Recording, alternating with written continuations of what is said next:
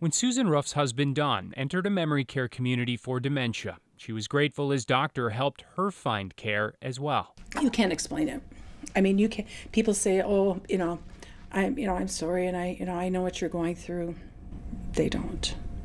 They don't. I mean, it's you go to these groups and they get you. She was part of a group study focused on caregivers, and though it transformed her ability to connect with her husband, she realized how rare it was. I don't know if there's any resources out there that can fill this gap of, you know, helping people more. The goal would be to take a study like this, you know, if it shows to be effective, and then to actually get it and implement it on a wide scale basis. Professor Joseph Gaugler says the National Institute on Aging's new Impact Collaborative will help all kinds of new dementia studies reach more people.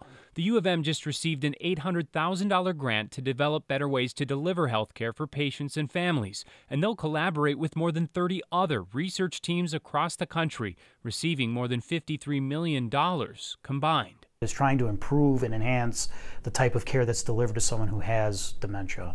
And that's important, and that's what families struggle with on a day to day basis. Susan says things like art therapy are helping her husband, and group therapy is helping her, and she can't wait to learn more. It keeps you moving forward.